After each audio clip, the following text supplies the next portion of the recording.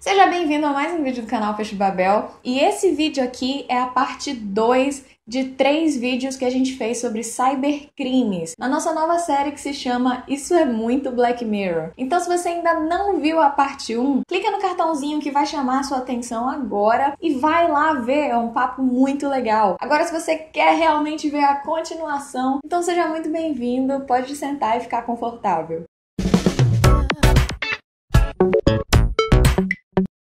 E agora a gente vai para o segundo episódio que grita cyberbullying, que é o terceiro episódio da terceira temporada, que chama Shut Up and Dance. Para quem assistiu esse episódio, é um dos mais cabulosos da série. Um hacker invade a webcam de um menino de 19, 18 anos e filma ele fazendo coisas que você faz no seu quarto com a porta fechada. Ele pega tanto o conteúdo do computador do menino quanto a imagem da webcam dele e usa essas coisas para extorquir ele, fazer ele fazer uma série de coisas bizarras, tipo roubar um banco e lutar contra o cara até a morte, até a morte. né? E o menino se deixa é, ser extorquido ser ameaçado dessa forma, ele cede justamente pra não ser exposto na internet. Esse episódio em específico, ele fala de uma coisa muito importante, é um tema muito importante, que é o revenge porn, que é quando você tem um nude seu que acaba vazando na internet, seja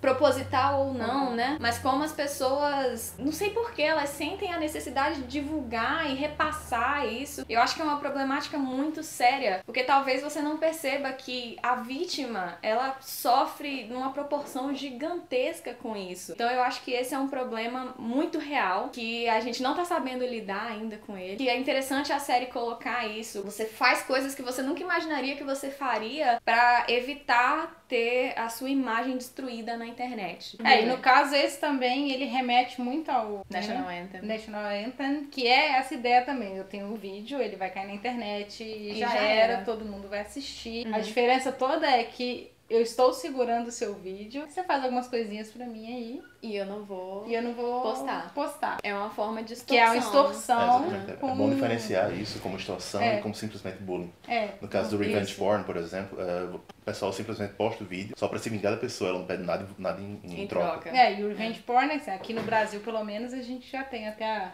a lei da Carolina Dickman, Sim. que Ah, foi sim. isso, que ela levou o computador pra arrumar, descobriram fotos dela aqui. Pontos completamente pessoais e o Uhum. cara resolveu que ia divulgar. Isso já aconteceu com um monte de artistas, E com um monte de Né? gente desconhecida. com um monte de também. gente desconhecida, que aí a gente nunca, nunca fica sabendo, a pessoa que se ferra pra lá. Aham. Mas isso acontece. Aquele caso bastante famoso de 2015, que centenas de celebridades tiveram ah, Uhum. fotos e vídeos vazadas. Ah, sim. E Como outras centenas de não le- centenas ou milhares de não celebridades tiveram também fotos e vídeos vazadas, mas que ah, ninguém ficou sabendo porque não foram divulgadas também É. as fotos. O pessoal geralmente procura mais nesse caso por fotos de celebridades ou pessoas conhecidas. É, e esse ponto é bem preocupante porque, tá, ok, o cara é famoso, outras pessoas vão procurar e tal, mas aquele cara que não é famoso, você não sabe nada da vida dele, você não sabe o que, que ele tá passando. Então, se a gente quiser fazer um paralelo lá com outra série ali, né, Netflix paga nós, o 13 Reasons, ele começa falando disso. Não era nem nude nem nada, era simplesmente uma foto, era, Era uma uma foto foto reveladora, de certa reveladora, forma, era uma foto exatamente. reveladora e o que eles fazem é divulgar pra escola. O objetivo é acabar com a É moral acabar da com a moral. pessoa. É acabar com a moral da pessoa. E na série 13 Reasons Why, eles mostram justamente É. como isso pode virar uma bola de neve na vida da pessoa. Uma vez que você fragiliza a pessoa dessa forma, ela começa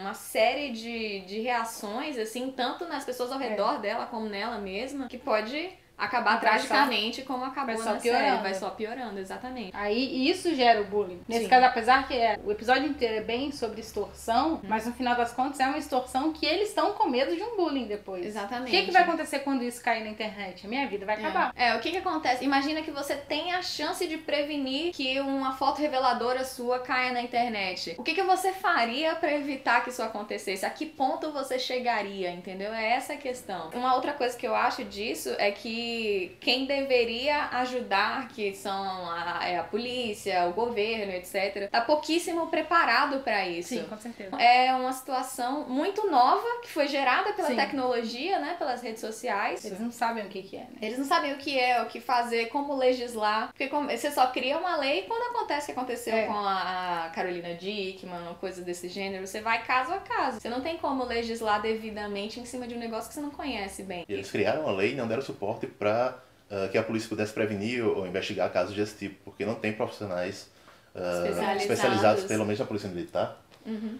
para esse tipo de caso. Na Polícia Federal, a gente tem vários profissionais só de informática que trabalham para prevenção Sim, e com certeza. a Polícia Militar, Polícia Civil, aqui, tem. estadual, municipal, não tem. Não vai ter nada. Uma coisa que eu acho muito ruim é que essas pessoas, às vezes, quando elas tentam ajudar, elas acabam falando coisas tipo: não tire essas fotos, não faça É. essas coisas. A culpa é da a vítima. culpa é da vítima. E no caso desse episódio, por exemplo, o que, que você vai fazer se alguém invadir sua webcam? Que culpa você É. teve? Não que você tenha culpa em alguma, alguma dessas situações, mas você tá totalmente vulnerável a diversos tipos de situação que você não tem controle. Não tem condição da gente querer culpar a vítima por algo que claramente não é culpa da vítima. Então eu acho que isso é uma ideia muito importante de perpetuar também. Coisa interessante é lembrar daquele caso do, do é o criador do Facebook.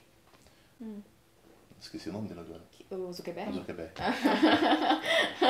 Ah, Aquele cara. Aquele cara. O criador do Facebook, ele tinha ah, fitas de- Ah, fita É, adesiva, é, fita adesiva, igual. tanto na câmera quanto no microfone do, do microfone pessoal dele. E isso veio muito também depois das revela- revelações do Snowden. Que as Sim. revelações do Snowden falaram justamente isso, que não só a câmera do seu notebook, mas como também o áudio do seu notebook, como também as suas smart TVs elas podem capturar. Ou seja, você pode ser visto, ouvido o tempo inteiro. Só pra, só pra contextualizar mesmo, o Snowden que ela tava falando, ele justamente trabalhava pro governo de alguma forma, que a gente não sabe exatamente como, e ele teve acesso a documentos confidenciais, que ele, ele só fez vazar, né? Ele só fez vazar. Ele pegou esses documentos e vazou. É que ele descobriu que presidentes estavam sendo Vigiados? vigiados, essas coisas todas. E ele resolveu vazar isso tudo. Pra provar que, Pra provar que- a gente tá sendo vigiado de fato. É. O filme que saiu do ano passado do Snowden, ele deixa bem claro porque o próprio Snowden, quando começa a trabalhar nesse caso, ele tá querendo eh, receber informações de uma mulher, se não me engano, ah, na Europa que ela tá, e eles ligam remotamente a câmera do, do, do notebook dela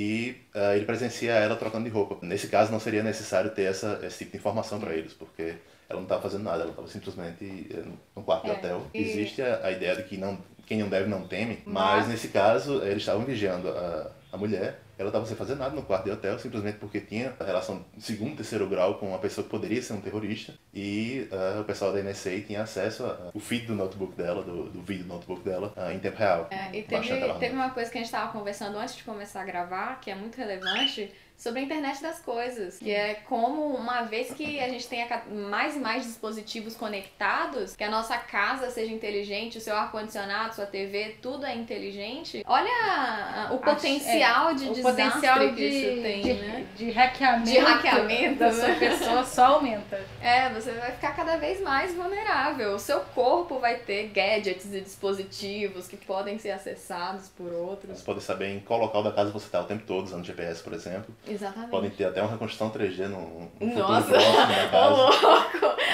Porque hoje em dia o pessoal consegue feed de, de- de vídeo da TV, de TV digital, É. remotamente. Uhum. Então, é de se esperar que no futuro próximo, com a internet das coisas, você consiga eh, ligar o feed das câmeras dispositivas, de todos os dispositivos da casa, e essencialmente vigiar você em todo Vigiar o que você tempo tiver. inteiro. Não só na frente da televisão. Logo não usem câmeras.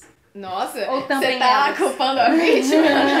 Tá indo não usem câmeras, não tenham câmeras, não, Não tirem fotos. Mas é isso, é importante culpar quem é digno de culpa, que não são E as não é pessoas vítima. que têm câmera e tiram fotos e etc e tal. Que é todo mundo, basicamente. Que é todo mundo, basicamente. Vocês quase tentaram, acho que ia entrar em Ghost in the Shell.